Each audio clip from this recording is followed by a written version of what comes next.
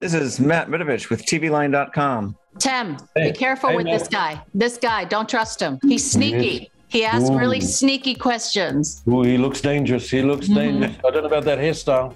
All right. Who's your hairdresser? Boba Fett, La Punachasa Karato. You just met the Hutt twins. What was it like shooting that scene? What were you and Tim actually looking at there on set? It was pretty much those two guys. Yeah, they- they- yeah. Without the voiceover, of course, the voiceover came from there. One, my wonderful stand-in, the guy called Jimmy. He tended Oh, to do all the Jimmy. voiceover thing. Remember Jimmy? I had this great stand-in. He could do all the voices while we were acting. The Espa Kajitik Dujaba. Anka S. Chiji. Yeah, it was wonderful. They were up on this. Uh, Actually, up at that height, and uh, I felt sorry for the extras carrying that.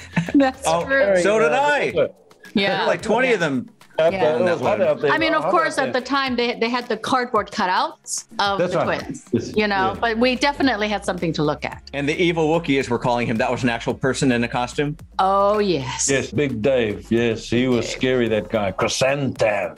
Ah, Chrysanthemum. He looked way cool, didn't he? He Are we calling him Chrysanthemum or are we calling him Santy or Black K? Which are we going with? Chrysanthemum. we give him the respect of his full name, Chrysanthemum. besides the twins, besides Santy, are there any other villains we should watch out for as the season unfolds? Oh Ah, yes. see, I told you he was sneaky. Shh, don't say anything. Oh no, that's why we're not allowed to mention too much about these uh, incoming actors. But yeah, we you look forward to some. Uh, that's just the beginning. There's some colourful chaps coming in Yeah. to uh, to uh, upset the works, and that's a part of this uh, wonderful series too. The introduction of all these. Uh, Elements that come in in all shapes. I like that. colours. Elements. Elements. Yes. Uh, this, yeah, this guy's good, all right. He's trying to get some stuff out of us. I got to be careful. I talk too much.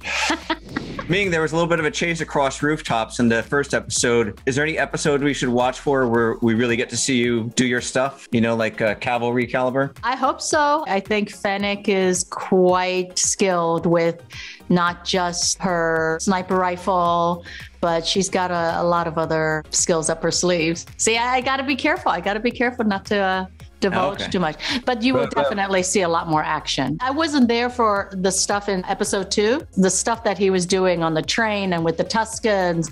It was just mwah. That was fantastic. That was So good. gangbusters. I'm still recovering. I'm still recovering. At, at our age, uh, both me and Ming really had to do our stretches before uh, before some of our physical stuff. But again, Ming-Na was very good at all that uh, martial arts stuff.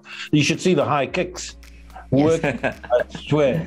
And yes, she's all action, so uh, it's a nice playoff too. You know, I've kind of more the uh, the brute force kind of stuff, and she's got the the more slicker, the graceful. precise moves and Flex. gracefulness, and uh, you know the movement. Lastly, is there any sort of what I call Luke Skywalker moment we should watch for? Will a character be showing up this season where we're going to be like, oh my God, I can't believe that character is on this show? Who, who, who, who, who are you talking about? Who, who, who, who is that guy? This is the book of Boba we're talking about here. Who, who, who's that other guy he mentioned? Isn't he in those other big movies? He was. This is the book of Boba. Okay. I love. All right, folks. Me and my uh, Boba Fett toy. Thank you for your time today. Hey, very cool. Where's OG Fennec? action figure.